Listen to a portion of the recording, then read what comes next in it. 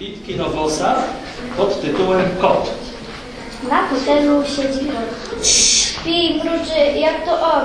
Czasami się połasi, pazurkami zadrapie. Najczęściej śpi na fotelu i smacznie chrapie.